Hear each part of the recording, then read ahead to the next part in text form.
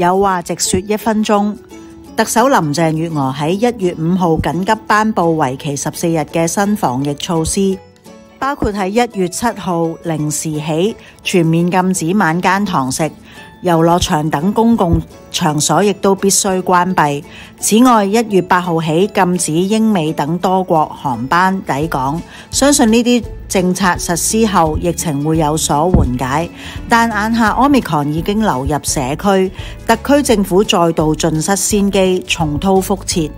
雖然已經有唔少專家認為第五波疫情已初現端倪，但政府仍然唔願意正面承認。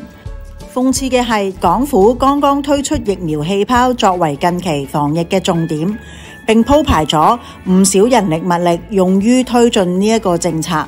今日又禁堂食同埋航班，試問疫苗氣泡同收緊內外防相比，邊個輕邊個重呢？根本公布呢啲措施先係政府應該落力實施嘅，而唔係倉促間推出疫苗氣泡。好似只係向公眾交差，實際就引發咗市民嘅恐慌，擔心自己未來行程受阻而蜂擁去到疫苗接種中心，變相造成人群聚集，形成潛在嘅爆疫風險。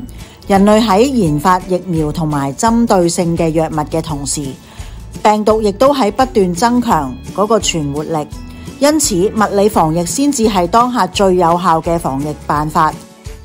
除咗禁晚間堂食同埋爆疫國家嘅航班之外，港府亦應該收緊對所有境外抵港人士嘅檢疫，亦都要增加機組同埋機場工作人員核酸檢測嘅頻率，延長機組成員嘅隔離期等等。